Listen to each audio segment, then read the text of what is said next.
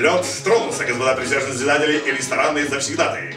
Сын турецко поданного Остап Сулейман Бендер, Мария Бендер, Бей снова в деле, снова с вами.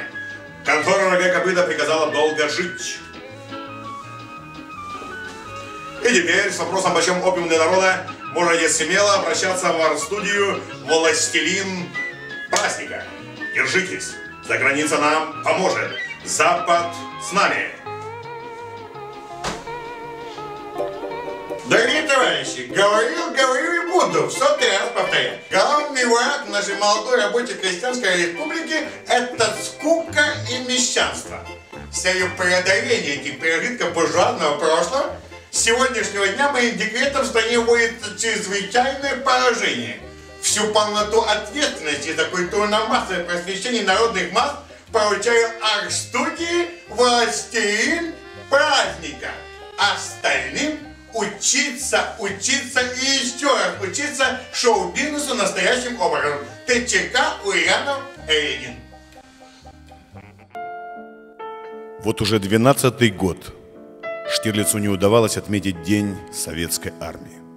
Вдалеке от родины полковник Исаев мечтал о том, как он вернется домой и первым делом позвонит в арт-студию «Властелин праздника». Штирлиц знал, уж кто-кто, а эти ребята умеют работать профессионально. Будет все, сладко мечтал Максим.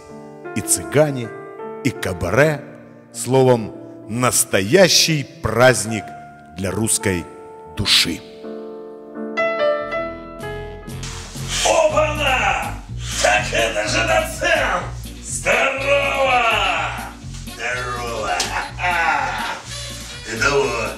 Балуй.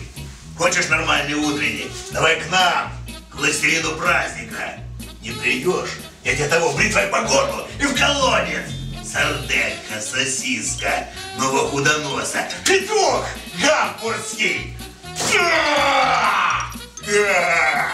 Я злой и страшный серый волк, но в праздниках я знаю толк. Дорогие друзья, дамы и господа, уверен, мы сделаем вам предложение, от которого вы просто не сможете отказаться. Арт-студия «Властелин праздника» – это ваш надежный партнер в деле создания по-настоящему хорошего настроения. К нам идут за радостью.